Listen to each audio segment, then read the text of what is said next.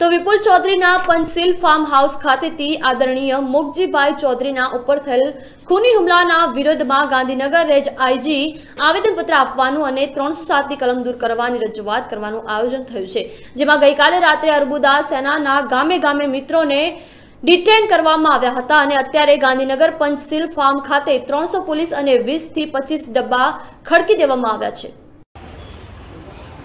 મોક્ષજીભાઈને ન્યાય મળવો જોઈએ. જિલ્લો જ નહીં, પરંતુ સમગ્ર ઉત્તર ગુજરાતમાં કોઈ એવું માનવા તૈયાર નથી કે મોક્ષજીભાઈ દૂધસાગર ડેરીની સાધારણ સભામાં કોઈનું ખૂન કરવા જાય.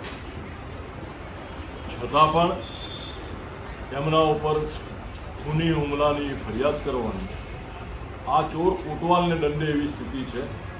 લાઈવ કેમેરામાં પણ દેખાય છે એમના દીકરાને અને ભાણિયાને કેવી રીતે અસામાજિક તત્વો ભેગા કરીને કાવતરાના ભાગરૂપે ઢોરમાર મારવામાં આવી રહ્યો છે. જેના જેની ધરપકડ થવી જોઈએ.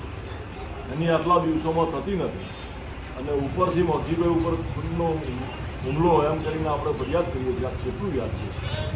આ આખું કાવતરાના ષડયંત્રમાં મૂળમાં ડેરીના સત્તાધીશ પોતે જ્યારે જવાબદાર હોય, ત્યારે એમના ઉપર મગજીભાઈના ખૂનનો હુમલો એવી રીતે ફરિયાદ દાખલ થવી જોઈએ એવી અમારી માંગણી છે.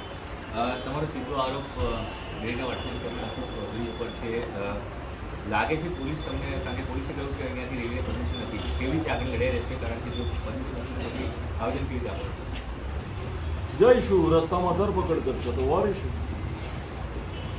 લડા લડાઈ લડવાની પૂરી તૈયારી છે સંઘર્ષ તો કરવો જ પડે ને અમારા વિરોધીઓને સંઘર્ષનું સ્વરૂપ ઘર્ષણ તરીકે કરવું હોય તો અમને મુબારક. અમારે અમારો સંઘર્ષ સત્ય માટે, ન્યાય માટે ચાલુ રાખવાનો ધન્યવાદ તો આ કહ્યું કે અમે સંઘર્ષ કરતા રહીશું, પોલીસ પરમિશન આપે કે નહીં આપે. ધરપકડ વળીશું અને જે માંગ છે તેની પર છે કે પોલીસભાઈ ઉપર